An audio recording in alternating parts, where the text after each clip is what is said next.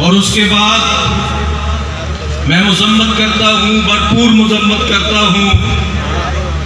दाता जी हजवेरी की ओर से मुकद्दस पाल, जो तमाशबीनी की गई, जो बेहयाई की गई, और उनको मैं बता देना चाहता हूँ कि आस्थाना आलिया, हज़रत दादा गंज बख्शली अजमेरी अली के बेटे का आस्थाना है ये आस्थाना अली के बेटे का आस्थाना यजीदियों का डेरा हर हरगिज नहीं है। और वो अली राजदारे जली खफी है। जिधर देखो अली अली है। गवाह दुनिया की हर गली है। अरे जिधर देखो अली अली है।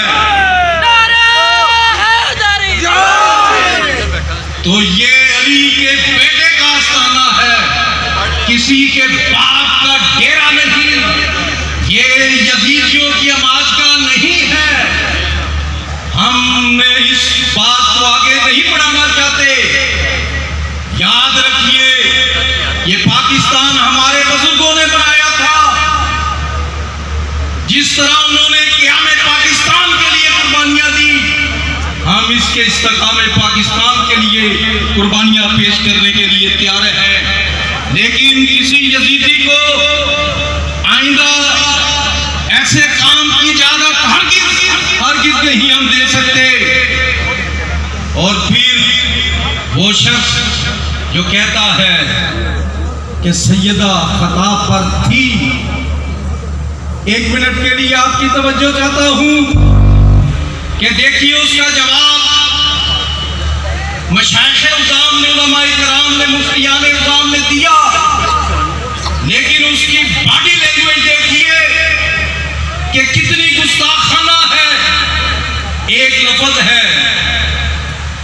उसका तकल्लम का अंदाज अगर बदला जाए तो उसमें गुस्ताखी आ जाती है। गुस्ताखी के अल्फाज ना भी हो।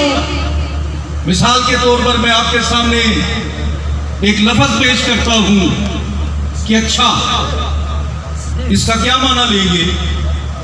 यस ओके नाम अच्छा। अगर मैं कह दूँ, मुफ्ती साहब आपकी तो जो कहता हूँ कि अच्छा अगर कोई कहता है अच्छा तो इसका मतलब है there is something wrong in the bottom कि दाल में कुछ काला काला है।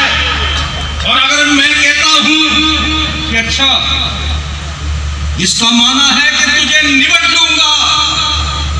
तुम अपनी बॉडी लैंग्वेज को देखो, जब से तुमने थी थी किया है, तुम पर थू थू हो रही और याद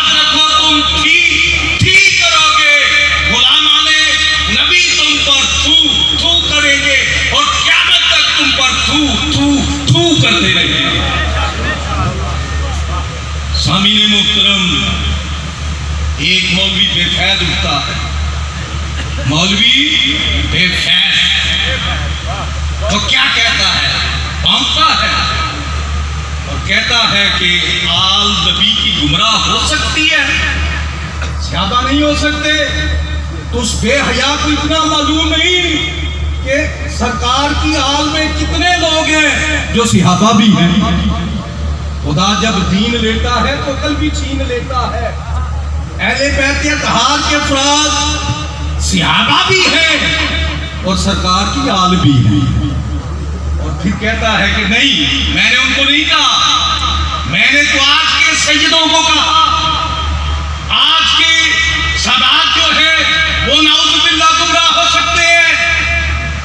आका क्या फरमाते हैं? औलादे बनी अब्दुल मुतलब के लिए दुआ फरमाते हैं। आपने फरमाया, या अल्लाह, इनको दीन पर साबित कदमी अता फरमाना, जो इलम वाले नहीं, उनको आलम बनाना, और या अल्लाह, इनको हदायत अता फरमाना। ये किसकी दुआ है?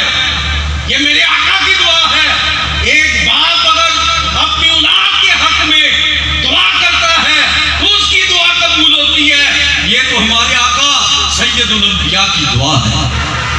इजाबत में झुक कर जिसे गले से लगाया, बड़ी शान से जो दुआए मोहम्मद। तो याद रखिए, ये नबी का फरमान है। हदीस का ऐलान है, ना मानने वाला बेईमान और शैतान है। हाँ कोई मौलवी बेफैद है, या निहाज फकरे कुरान है। वो हर शख्स जो नबी की बात को एक्सेप्ट नहीं करता वो मैं समझता हूँ, शैतान से भी बदतर है।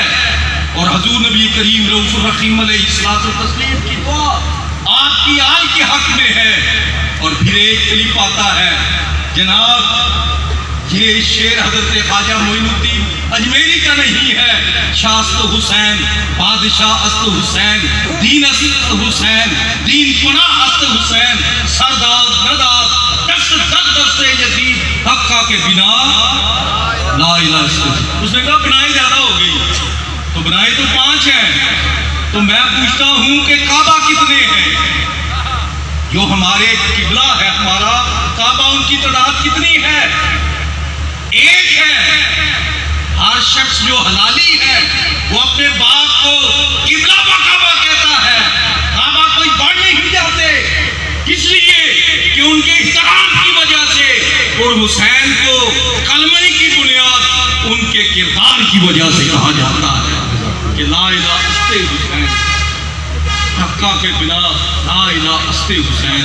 तो सामिन मुहतरम, चूँकि वक़्त के दामन में गुंजाइश नहीं, सिर्फ़ हाजरी मकसूद है।